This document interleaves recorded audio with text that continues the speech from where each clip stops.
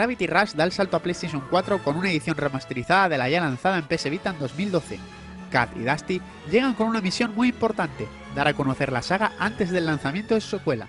Si por algo se caracterizó Gravity Rush en PS Vita, fue por aprovechar al máximo las características de la portátil de Sony, dando unos aspectos técnicos fabulosos y una jugabilidad que mezclaba los controles por giroscopio y pantalla táctil con las mecánicas tradicionales. Kat es la protagonista de esta historia, una misteriosa chica que despierta en la ciudad de Hexville y que no recuerda nada de su pasado.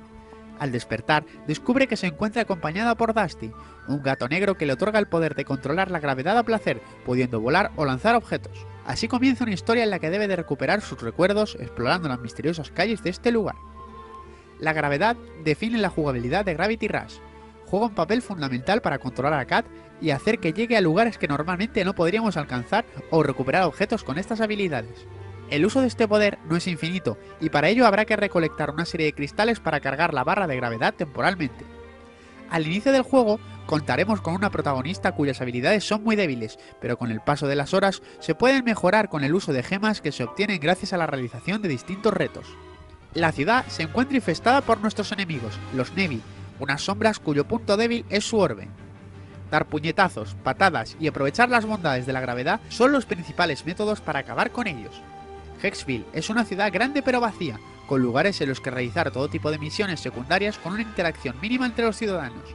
Estos personajes nos ofrecen desafíos fuera de la historia, e incluso información útil y consejos sobre los movimientos disponibles. Un problema sobre su sistema de combate es su poca profundidad. En esta mecánica beat'em up no encontramos ni movimientos variados ni combos espectaculares, simplemente combates que en muchas ocasiones carecen de sentido. En cuanto a la remasterización, debemos decir que es bastante notable, pero no tiene ni punto de comparación tanto técnica como jugablemente con lo que podemos encontrar en Gravity Rush 2. La desarrolladora encargada de las remasterizaciones de God of War Uncharted, entre otras, ha trabajado en la adaptación de Gravity Rush para PlayStation 4, dando muy buenos resultados.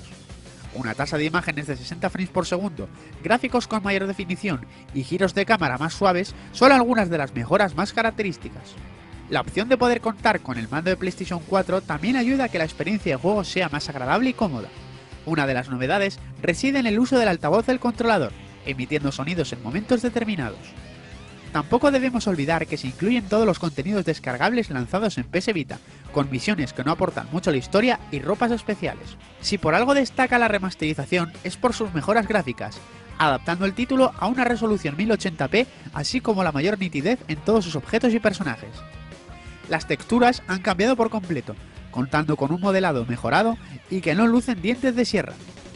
El uso de anti-aliasing y un sistema de luces y sombras más realistas hacen que Gravity Rush luzca mejor que nunca. Su banda sonora sigue siendo la misma que se incluía en PS Vita, con unas melodías orquestadas y compuestas por Koei Tanaka, famoso por sus trabajos en Alundra y sus colaboraciones en los animes Gundam y One Piece.